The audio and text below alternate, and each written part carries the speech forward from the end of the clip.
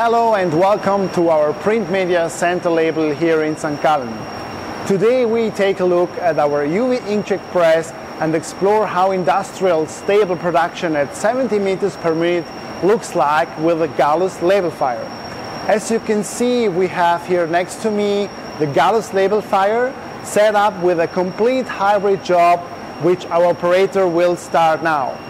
In the current setup, we are printing the CMYK with a gamut extender on a PP white.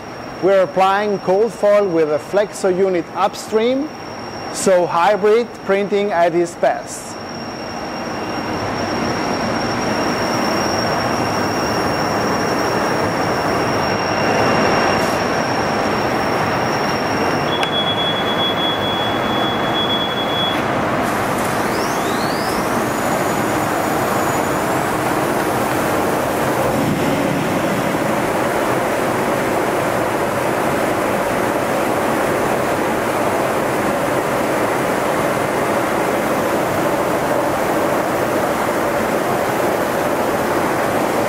At the end of the machine, we can use the hybrid capabilities by applying an overprint varnish and convert with our semi-rotary die cutting solution, all at 70 meters per minute, of course.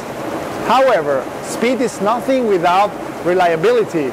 We are proud to show you the Gallus Labelfire is an industrially stable production system. We have machines in the field producing well over 50,000 linear meters day by day and they're printing reliable and with around 90% availability. Also, speed is nothing without control. So let's take a look at the end results now. As you can see, we are in perfect register with sharp edges and even thin lines are printed as intended. Also compare these print results to a label of the same job we produced about one month ago.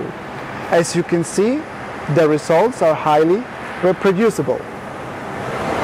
If that is what you want for your digital production, feel free to get in contact with your Heidelberg representative. Thank you.